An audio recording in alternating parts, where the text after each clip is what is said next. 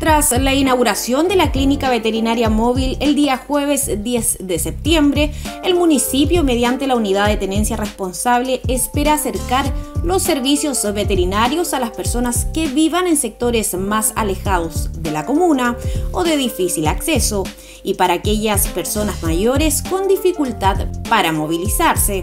Los principales operativos que realiza son esterilizaciones de mascotas con motivo de control de reproducción canino y felino, así también apoyar los servicios de vacunación que se están realizando en los nueve sectores de la comuna mediante el plan Muni en Terreno. Natalia Álvarez, médico veterinaria de la unidad de tenencia responsable, se refirió a la asistencia médica que está otorgando el móvil para que podamos utilizar, digamos, esta clínica veterinaria y podamos ir a sus comunidades. La idea es que se acerquen de varios vecinos y puedan inscribirse a través de las sedes eh, municipales en el territorio,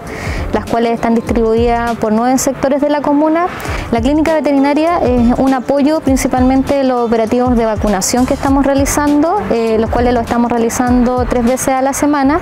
eh, donde, como les decía anteriormente, nos dirigimos a cada uno de los sectores según corresponda, donde ahí tenemos la atención de vacunaciones anuales, en caso de perros la antirrábica, la sextuple o la octuple, triple felina para gatos, igual igual que la antirrábica, implantación de microchip, desparasitación interna e externa según corresponda al caso. Paralelo a ello, ante las atenciones que comenzó a prestar la clínica veterinaria, los vecinos y vecinas de la comuna se mostraron bastante conformes y agradecidos por el servicio. Súper importante para toda la, la comunidad porque mm,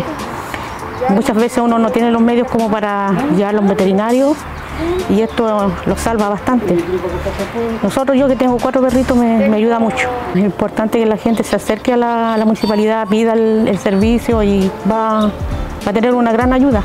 y estén pendientes de las atenciones que hacen gratuitamente. Cabe destacar que el móvil está totalmente equipado internamente con jaulas de hospitalización de mascotas para pre y post cirugía, equipo veterinario, sistema de red eléctrica, zonas destinadas para área limpia y sucia, sistema de conexión a red de agua potable, entre otros.